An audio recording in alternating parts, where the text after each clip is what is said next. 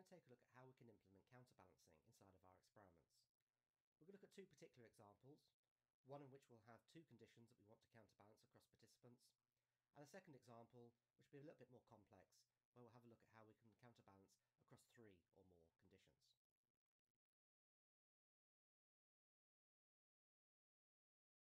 So let's have a look at how we can implement a simple counterbalancing system inside of Open Sesame. Let's say that we want half our participants to receive the order block 1 followed by block 2 and the other particip half participants receive the order block 2 followed by block 1. A simple way of doing this is actually we can look at the subject number and see whether it's odd or whether it's even. If it's an odd number, we'll give them the order block 1 followed by block 2 and if it's an even number, we'll give them block 2 followed by block 1, ensuring that half our participants have one order and the other half have the other. To demonstrate this, I've got a simple experiment loaded up already. This experiment will uh, display some instructions on the screen to the participant. It will sit and wait for a uh, space bar to be pressed before starting. We then have block number one, which just contains one particular trial. I can show you. It's got one variable, MSG, and this one trial just puts the message block one onto the screen. We then have some second block instructions. So we'd normally say that's the end of block one get ready for block 2, wait for the spacebar to be pressed, and then we'll start block 2. And block 2 also has just one variable in it, MSG, with the message block 2. Then we have a goodbye message, say thanks to the participant, wait for a spacebar, and then quit. So if I run this experiment right now, so I run it in a window with subject number 1, so here we have it with the uh, instructions that go in there we have block one, instructions for the second block, and then we have block two, and then the goodbye message, and that's the experiment. That's exactly the order we would want for odd number participants, but not for the even number participants. Now, a very crude way of sorting this out is that we could actually create a second version of the script and literally just move around uh, the order of these two blocks. So we could put block one up here, and we could put block one down here, and that would create the opposite order for us place. That's better. Uh, it would create the opposite uh, order for us, but then we'd have to remember to open up each particular script and make sure that we have uh, the right script for the right participant and so on. It can get a little bit out of hand that, and it's much more simple to let Open Sesame take care of this for us. And we can actually make use of a variable that's built inside of Open Sesame called subject parity. So open up the show variable inspector window, and you can see it down here, subject parity. It takes two values, odd if the participant number was odd and even if it was an even number participant. And we can actually use this as one of the conditions for running a particular block. So if we have a look in the main experiment sequence at the moment, let's put these back in the right order. Around like so. At the moment, we always run every single object inside of the experiment. So we always run the instructions, we always run the space response, then we always run block one, second block instructions, and so on. What we can actually do is specify that we only want certain blocks to run depending upon a certain condition, i.e. that that condition has been met. And what we can basically do is tell Open Sesame only run a block if the subject parity is even or if the subject parity is odd. So what we can do is if we add in a second copy of block 1 and a second copy of block 2, they appear down here at the bottom. I'll put them together in two pairs. So now the experiment is ordered instructions followed by block 1 and block 2, then the second block instructions followed by block 1 and block 2, which essentially just give us uh, the same order done over twice. We can though specify certain conditions about whether we want to run that particular block. What we can say here is run this block 1 here if the subject parity is odd, i.e. it's an odd numbered participant, and run this block 2 here only if the subject parity was even, so it's an even numbered participant. We can flip that over in the second pairing and say run this block 1 here only if the participant parity was even, and then run this block 2 here if the subject parity was odd. And the way we do that is we put that into the uh, condition box over here and remember, subject parity is a variable, so we need to specify it inside of the square brackets. So I'll just type in subject parity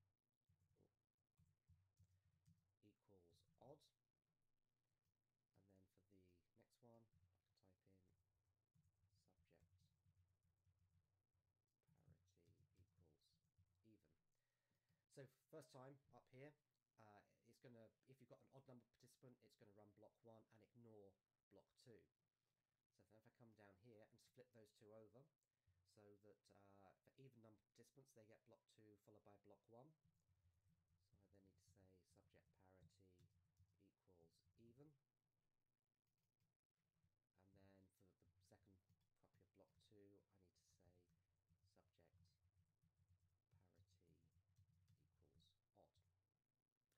Just to walk our way through this, if we've got an even, uh, sorry, an odd number participant, uh, we'll have some instructions on the screen. We'll come down to block one. Because we've got an odd numbered participant, it will run block one. However, it won't run block two because it will only run that if we've got an even numbered participant. So this is going to be skipped. We'll get the second block instructions.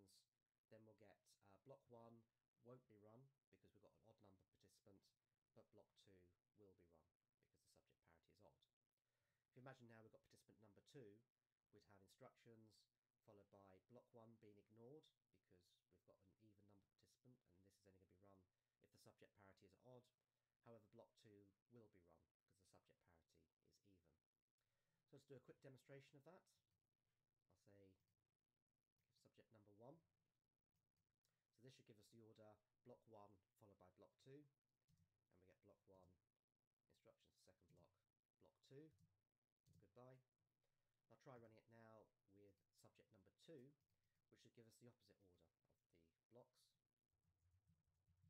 And so there's the instructions. We now get block two first. There's the instructions second block, and now we get block one, followed by the goodbye message. So that gives us a, a nice simple way of implementing a simple counterbalancing system inside of OpenSesame. Sometimes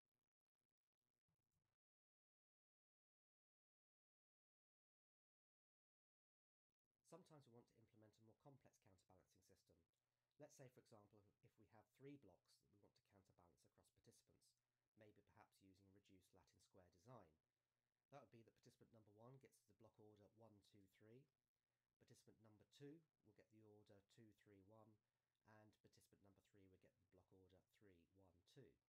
For participant number four, the sequence will reset, so they get the sequence 1, 2, 3. Now, because we've got more than two blocks here, we can't use the subject parity variable to, to help us out. After all, subject parity could only contain two values, odd or even. That works fine if we've only got two block orders, but now we have three block orders to worry about, so we have to use something slightly different uh, to determine what that block order is going to be. To determine that block order, we'll actually use a bit of arithmetic, namely the modulo function. I'll do a demonstration of this using the uh, debug window, because that lets me type some Python code in directly. Modular arithmetic basically is, you can think of it like the remainder from a, a, a division. So if we have, uh, say, 3 modulo 3, it's like saying 3 divided by 3 is 0, uh, sorry, 1, remainder 0. If we had 1 divided by 3, it would be 0, remainder 1. Uh, in this particular case, the uh, result of 1 modulo 3 would be that remainder value, the 1. In the case of 2, 2 divided by 3, or 2 modulo 3, it would be 2 to us. Um, if we use 4, for example, uh, 4 divided by 3 would be 1 remainder 1. So the modulo function would give us the return of 1 there for the remainder. Uh, as you can see, we actually end up with three numbers that basically come out of this uh, modulo division. Uh, we either get 0 when it's a multiple of 3, uh, we get 1 in the case of 1 modulo 3, or we get 2 in the case of 2 modulo 3. And we can use these three values uh, to determine which block order we want to give the participant. Now in Python, the modulo uh, function is defined by the percentage symbol. So do the demonstration down here of 1 modulo 3 gives us the answer 1 because that's uh, 1 modulo 3 is, uh, well it's like 1 divided by 3 which would be 0 remainder 1. Uh, we can use 2 modulo 3 gives us the result 2 and 3 modulo 3 gives us 0. If I put 4 in, cycle we've got here going 1, 2, 0, 1, 2, 0, 1, 2, 0 for all the possible participant numbers uh, that we've got. And we can actually exploit this to determine what our block order is going to be in our experiment. So let's have a look at how we can actually implement this inside of OpenSesame. Let's get rid of the debug window, I don't need that. I've got a simple experiment opened up already, um, which uh, contains this first thing in here is a inline script object. And it contains this bit of Python code in here. It takes the form of an if, else if, else statement. And basically what we're doing here is looking for these certain conditions to be met. So we're saying if self get subject number modulo 3 equals 1, then if it does indeed equal 1, B1 should be set to 0, B2 should be set to 1, and B3 should be set to 2. We'll talk a little bit about this B1, B2, and B3 uh, in a moment. First of all, let's just focus on this bit up here to see what that actually means. Subject number is a variable, uh, just like things like um, subject parity was in the simple example. But in the actual inline script object, we can't just stick subject number inside of those square brackets. Instead, what we have to do is use this bit of code here, this function, that basically means this experiment, then go and get the variable called subject number. That will return the number of the subject number. We then perform the modular arithmetic on it, and we'll see what the outcome is, and does it equal 1. If it does equal 1, then we set the values as we set up here. However, if it does not equal 1, let's say for example the subject number was 2, 2 modulo 3 as we saw earlier on is actually 2, we'd actually come down to this next statement which is else if, doing the same bit of uh, arithmetic here, except this time does it equal 2? Case of subject number 2, yes it will do, so B1 will equal 2, B2 will equal 0, and B3 will equal 1. And there's only one other option, so I haven't put an else if in, I've simply said else if these two conditions, so this condition here and this condition here, are not true, i.e. the result out of the modular division is not 1 or 2, then just set B1 to 1, B2 to 2, and B3 to 0. This will happen in cases where the subject number is a multiple of 3. So let's have a look at what this B1, B2, and B3 actually mean. You might have guessed they stand for block 1, block 2, and block 3. The 0, 1, 2 uh, in, that these values have been set to actually indicate uh, which order we're running the block, or more precisely, which block is run first. In all three cases, whichever gets set the value as zero will be the first block, uh, block run. So in the case of uh, a subject number 1 or 4 or 7 and so on, first block to be run will be B1. For subject number 2, the first block that will be run is B2. And for subject number 3, the first block that will be run will be block 3. Then the 1 indicates the second block, so and then the 2 indicates the third block that's going to be run. The reason we use 0, 1, 2 here, by the way, and not 1, 2, 3, will become a bit clearer a little later on. Then we also have to set these values uh, to be experiment wide, because otherwise we'd only have access to these in inline scripts. And actually what we want to do is access these particular values, this B1, B2 and B3, from outside of an inline script. The reason for doing this means that we only need to have one inline script in order to uh, do this counterbalancing. So to make them across the experiment, uh, available across the experiment, we have to say experiment or exp set the variable b1 to the value b1 that we've defined up here, and the value b2 to b2, and the value b3 to b3. So that just makes sure that these values are available experiment wide.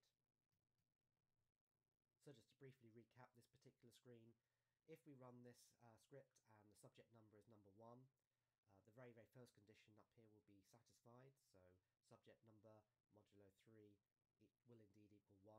So we'll set B1 to 0, B2 to 1, and B3 to 2. However, if we have the 2, it won't be the first condition that's satisfied, it will actually be the second condition.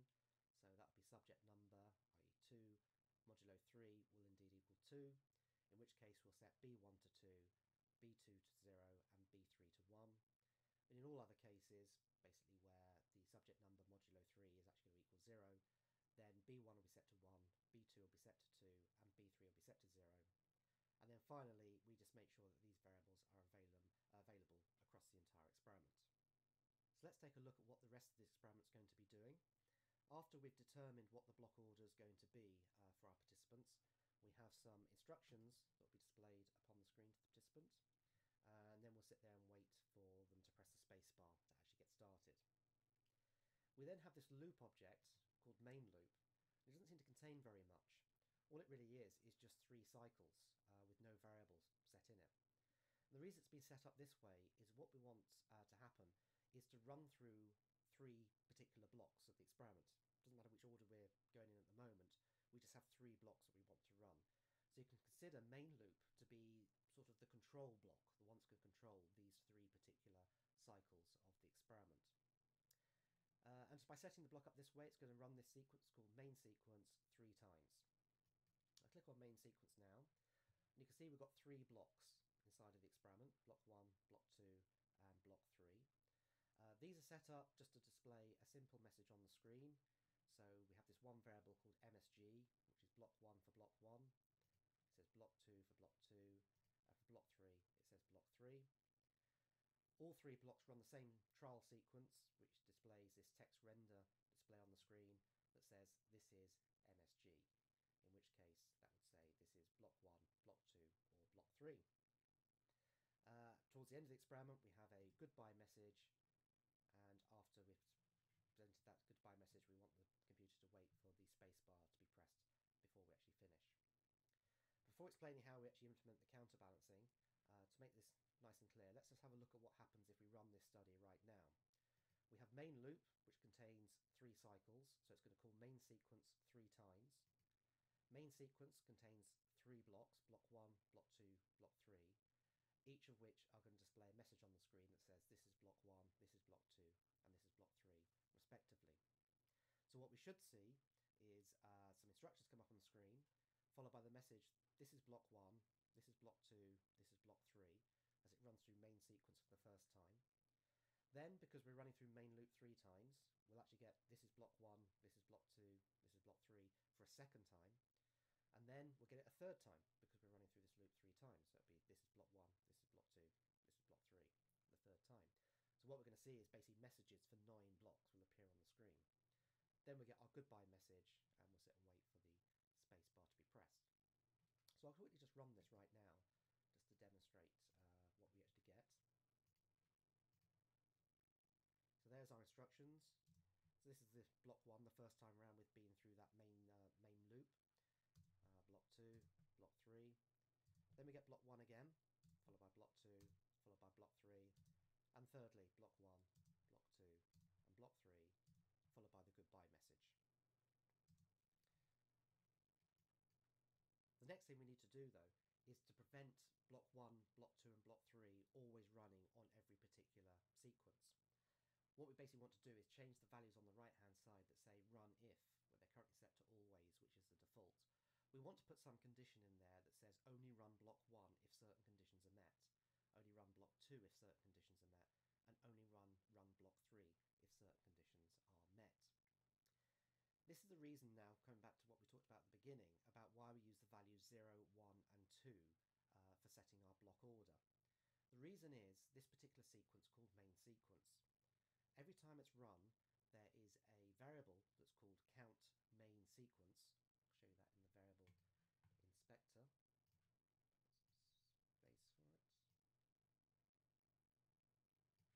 Space for it. So it's over here. Count main sequence. This value will increment every time main sequence is run. Now the thing is that the very first time it runs main sequence, main count main sequence will have the value 0. The second time we run it will have the value 1, and the third time we run it, it will have the value 2. This is the reason we use these numbers 0, 1, 2, and not the numbers 1, 2, and 3.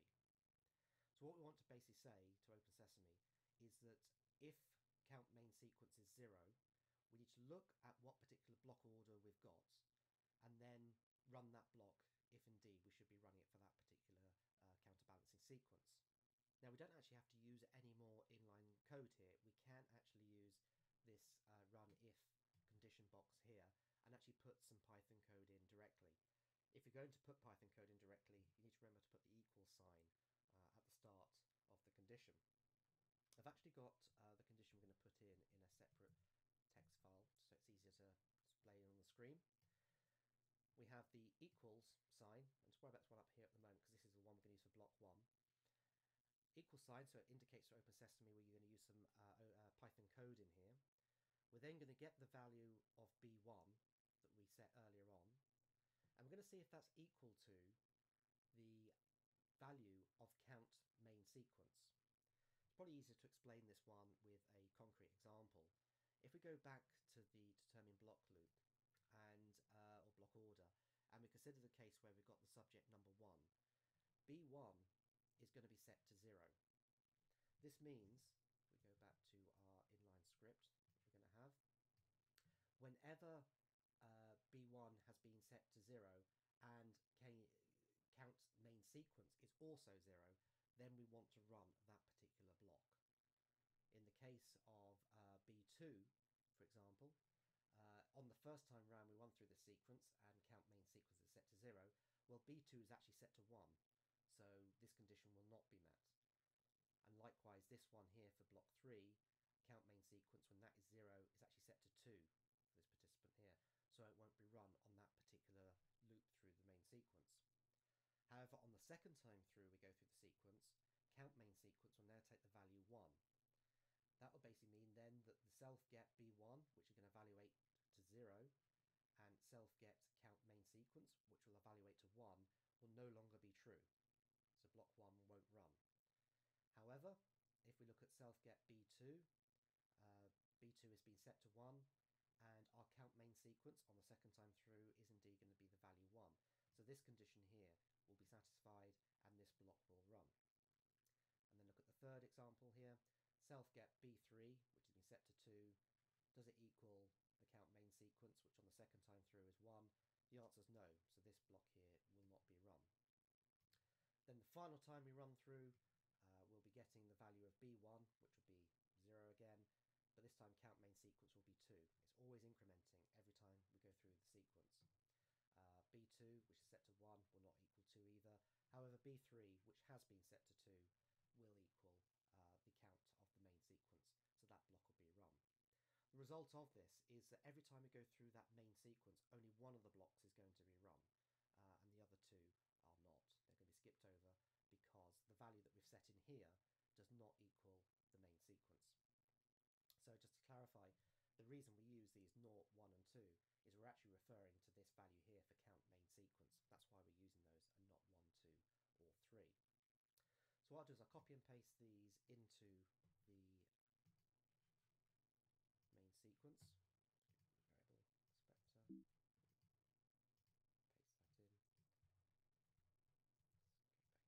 in. Let's go back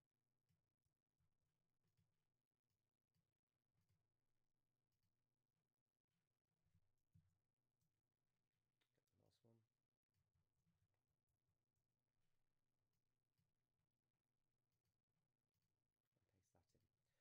So these blocks are only going to run if these conditions have actually been satisfied, i.e. the result of this particular comparison is true.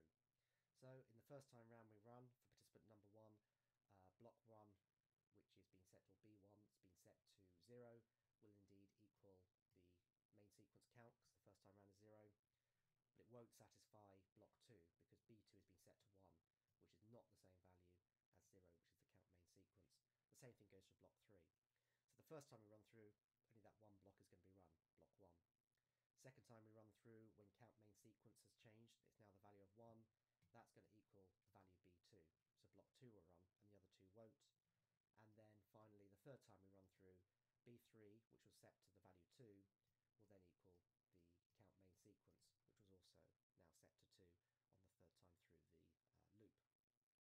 So let's just try running this and see what happens. So use the subject number one. So this should give us the instructions followed by this is block one, this is block two, this is block three.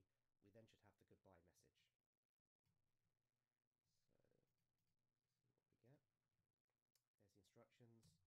This is block one, this is block two, this is block three, and then the goodbye message. Let's try it if we run participant number two. Remember participant number two should have the sequence 2, 3, and then block 1 to finish off. So we get that, so there's instructions, and then they get this is block 2, this is block 3, and this is block 1, followed by the goodbye message. And to finish it off, we'll run it with participant number 3.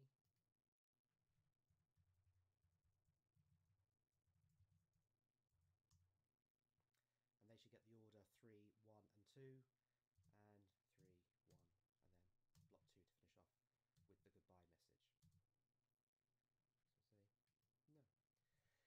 So that's how we can uh, implement some more uh, complex counterbalancing inside of Open Sesame using minimal amounts of inline Python code.